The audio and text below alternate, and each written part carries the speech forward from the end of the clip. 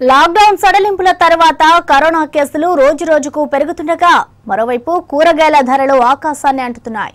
వారం రోజుల వరకు కిలో టమాటా బీరకాయ వంకాయ చిక్కుడు పచ్చిమిర్చి పదిహేను నుండి ఇరవై రూపాయలు పలికిన ధరలు యాభై రూపాయలు దాటాయి. కరోనా ప్రభావంతో మహారాష్ట్ర ఆంధ్రప్రదేశ్ రాష్ట్రాల నుండి కూరగాయల దిగుమతి తగ్గింది. ఉమ్మడి నిజామాబాద్ జిల్లాలో కూరగాయల ధరలపై మరింత సమాచారం మా ప్రతినిధి రాజేష్ అందిస్తారు.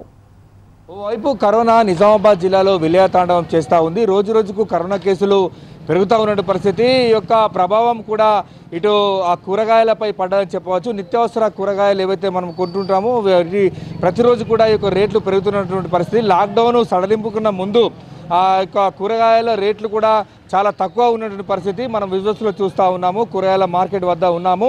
అయితే ఒక్కొక్క ఏదో ఏ ఏ వస్తువు కొన్నా కానీ యాభై రూపాయలకు పైగానే కిలో ధర పలుకుతున్న పరిస్థితి ఉంది. ఇటు టమాటాలు కాకరకాయలు కావచ్చు చిక్కుడుకాయ బెండకాయ అదేవిధంగా పచ్చిమిర్చి అదేవిధంగా చూసినట్లయితే ఇంకా వంకాయలు ఆ పువ్వుగడ్డ ఇట్లా బీరకాయలు అన్నీ కూడా ఏ చూసినా నలభై నుంచి యాభై అరవై రూపాయల కిలో ధర పలుకుతూ ఉన్నటువంటి పరిస్థితి ఉంది. ఈయన- దీంతో ఇటు వినియోగదారులు మాత్రము ఇబ్బందులు పడుతూ ఉన్నారు. టమాటా యాభై రూపాయల కిలో పడుతూ ఉంది. ఇంతకుముందు క్యారెట్ యాభై నుంచి వంద రూపాయలకు దొరికే క్యారెట్ ప్రస్తుతం ఒక క్యారెట్ ఆరు వందల నుంచి పదకొండు వందలకు దొరుకుతుందని చెప్పేసి ఇక్కడ ఇటు ఎవరైతే కూరగాయలు అమ్ముతా ఉన్నారో వాళ్ళు చెప్తున్న పరిస్థితి. కూరగాయలు కొనేటువంటి వారికి మాత్రం ఇబ్బందులు తలెత్తా ఉన్నట్టు ఇబ్బందులు మాత్రం తలెత్తుతూ ఉన్నాయి. అయితే ఉదయం నుంచి కూడా ఇటు ఎక్కువగా ఇటు నిజామాబాద్ జిల్లాకు ఇటు మహారాష్ట్రతో పాటు ఆంధ్రప్రదేశ్ అదేవిధంగా తెలంగాణలోని మేడ్చల్ నుంచి లోకల్ లోకల్గా పండే పంటలు కూడా ఇక్కడికి విక్రయిస్తూ ఉంటారు. అయితే ఈ నేపథ్యంలో ఇక కూరగాయల రేట్లు ఎక్కువగా అవుతుండడంతో ఇబ్బందులు పడుతూ ఉన్నట్టు మనకు తెలుస్తూ ఉంది. మనము ఒకసారి ఇక్కడ మనం ఎవరైతే కూరగాయలు విక్రయిస్తున్నారో మనం తెలుసుకునే ప్రయత్నం చేద్దాం. సార్ చెప్పండి మామూలుగా ఈ రేట్లు గత వారం రోజుల నుంచి ఎట్లా పెరుగుతున్నాయి? ఎట్లా ఉంది ఇక్కడ పరిస్థితి? సార్ వారం రోజుల నుంచి కూరగాయలు వస్తాయి సార్. బయట నుంచి ఎక్కడి నుంచి కూడా కూరగాయలు వస్తలేదు. చాలా ఇబ్బందిగా ఉంది సార్. మా మేమ్స్గా ఇక్కడ బాగా రేట్లు పెట్టి తెస్తున్నాము. కొనేవాళ్ళు లేక పొద్దు నుంచి సాయంత్రం దాకా కూర్చొని అమ్ముతున్నాం సార్. ఒక్కో కూరగాయలు ఒక్క బాక్స్ నాలుగు వందలు టమాటా పెట్టే తొమ్మిది వందల నుంచి పన్నెండు వందలు పదమూడు వందల దాకా ఉంది సార్. యాభై రూపాయలు అరవై రూపాయలు అమ్మితే కానీ మాకు గిట్టుబాటు కాదు సార్. అమ్మా మీరు చెప్పండి కూరగాయలు మీరు విక్రయిస్తూ ఉన్నారు కదా అమ్ముతా ఉన్నారు కదా.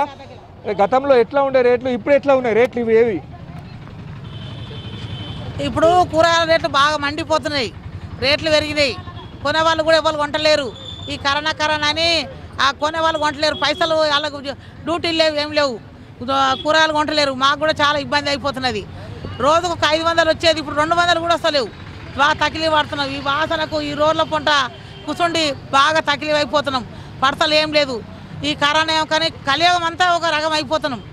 ఇప్పుడు ఏమన్నా అంటే మేము పది రూపాయలు చెప్తే వాళ్ళు ఐదు రూపాయలు అడుగుతున్నారు మేము కిలో ఇరవై చెప్తే వాళ్ళు పది రూపాయలు అడుగుతున్నారు. ఏం పడతలేదు బాగా తకిలీ అయిపోతుంది కొనే వాళ్ళకి తకిలీ అవుతుంది అమ్మ వాళ్ళకి తకిలీ అవుతున్నది అలాంటప్పుడు ఈ ఎట్లా బతుకుతామో ఏం కథనో టమాటా పన్నెండు వందలకు బాక్స్ అవుతుంది. ఆ యాభై రూపాయల కిలో అంటే కూడా వాళ్ళు కొంటలేరు. ఎట్లా బతకాలి ఏం చేయాలి? వాళ్ళకి తక్లీఫ్ అవుతుంది మాకు తక్లీఫ్ అవుతున్నది.